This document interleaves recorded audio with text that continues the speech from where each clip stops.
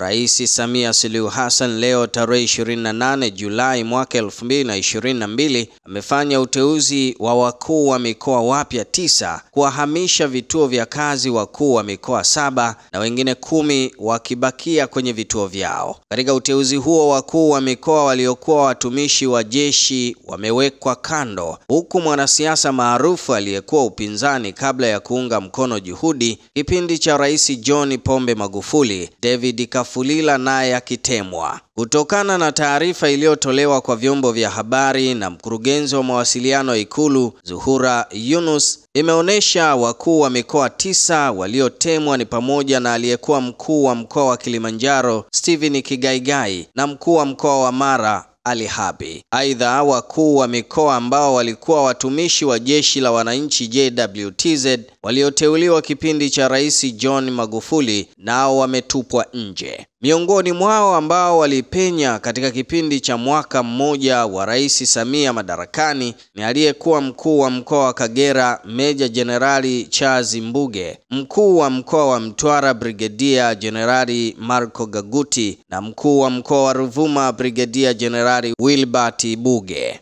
Aidha, mwanasiasa maarufu ambaye aling'atuka upinzani kipindi cha Rais John Pombe Magufuli na kuunga mkono juhudi David Kafulila pia ameng'olewa katika mkoa wa Simiyu. Wengine ni aliyekuwa mkuu wa mkoa wa Rukwa Joseph Mkirikiti, mkuu wa mkoa wa Singida Biniliti Mahenge na mkuu wa mkoa wa Mwanza Mhandisi Robert Gabriel. Mimi ni Kelvin Nyorobi na hii ni Mwanahalisi TV.